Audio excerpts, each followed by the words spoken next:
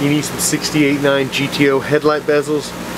Looks like they're uh, pretty nice. Not all pitted up.